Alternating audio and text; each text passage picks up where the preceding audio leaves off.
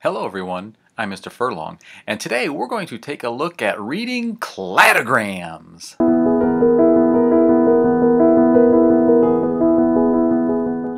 We're going to be seeing a lot of these cladograms in class over the next few weeks, and so we want to talk a little bit about what they are. A cladogram is a diagram that shows relationships between different species. Here's an example of a fairly simple cladogram.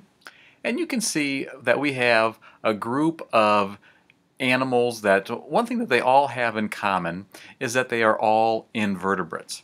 But notice off of this main line we have these different branches. There some going to a worm, there's going to a spider, there we see going to a couple different insects and so on.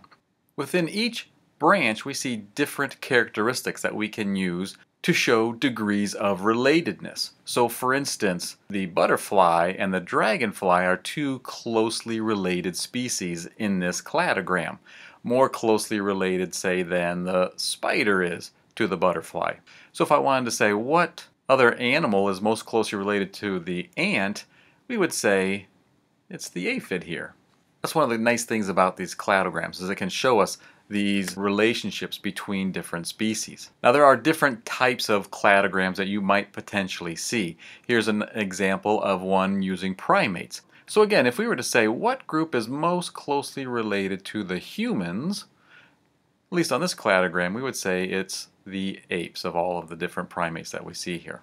Cladograms can get very complex though. Here's another example of a cladogram. We're going to be seeing something like this in a lab that we're going to be doing a little bit later on. But again, it can show us degrees of relatedness. So for instance, if I were to take a look at the squirrel, for instance, I would see that the guinea pig is the most closely related species on this list. How do these branches come about on cladograms? Well, we use something called a derived characteristic to make these branches or these clades. Each branch off of the trunk is called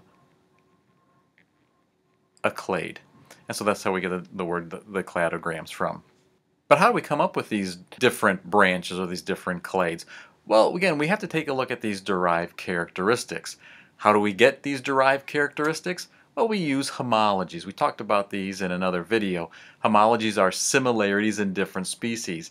In particular, there's two homologies that are used. One are called structural homologies, and this is where scientists will look at similar anatomical structures.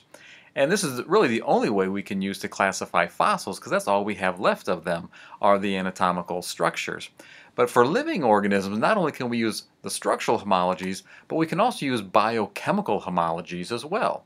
Here we can compare the DNA sequences between species to see how closely related they are to one another. And based on their DNA, this can then tell us what species are more closely related, but also how long ago did a common ancestor live. So that's the other thing that cladograms can tell us. Let's take a look at an example of how cladograms have changed because of these homologies. First of all, here we see a picture of a polar bear. Polar bears, based on their DNA, had evolved from the grizzly bear. Remember in a previous video we talked about ecological isolation that would have caused this. Another type of bear that you're familiar with though is the giant panda bear. And oftentimes when we think of panda bears, this is what we think of, but there's other types of pandas. For instance, there is the red panda as well. And so when we were using structural homologies to classify these, the cladogram would have looked something like this, where all of these bears would have had a common ancestor at some point. Now granted, all mammals would have had a common ancestor earlier on, and that the polar bear and the grizzly bear, uh, they are a very recent offshoot of one another. And so we see that uh, time-wise, their common ancestor didn't live that long ago compared to the common ancestor for all of these bears. And that at some point there would have been a common ancestor for the, these two types of pandas. But here's something interesting. When they took the DNA of the giant panda and compared it to the DNA of the red panda, they realized that the DNA really isn't all that closely related. And in fact, the red panda's DNA is more similar to the DNA of another animal. Can you see maybe what animal looks sort of like the red panda? Yeah, the raccoon, doesn't it? We see a lot of similarities between these two.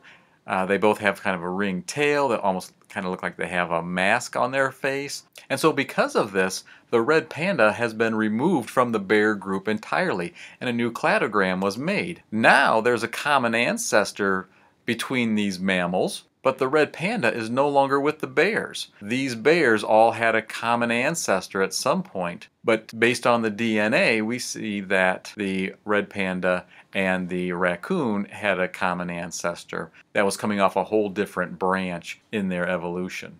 Now, why do we use these cladograms? Well, I'm sure you've seen a picture similar to this.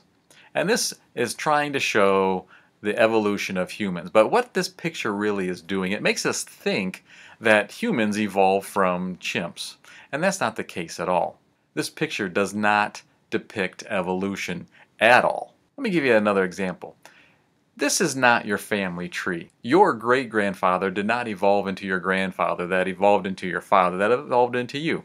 It doesn't even make sense, right? I mean, that's what, but that's what that previous picture was trying to tell us. No, it doesn't work that way.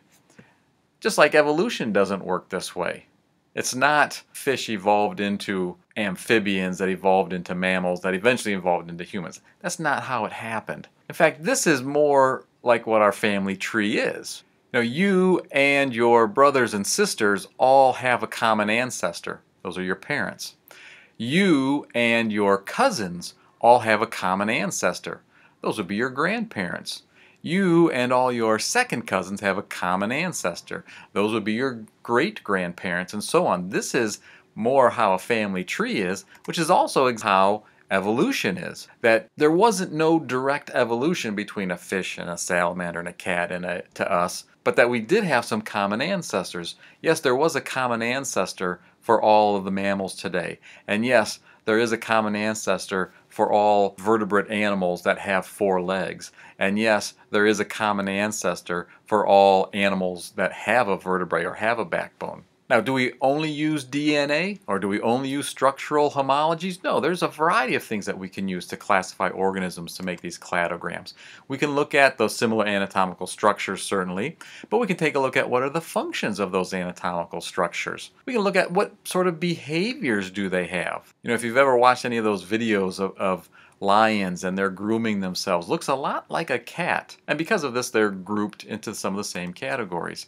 Uh, it could be their embryonic development. All of these are called homologies, and any and all of these things can be used in the making of a cladogram. So we're going to be practicing making these cladograms in class. We're going to look at how to read them, and eventually we're going to be looking at some real DNA to help us classify some species. So I'm really looking forward to that, and I'll see you in class.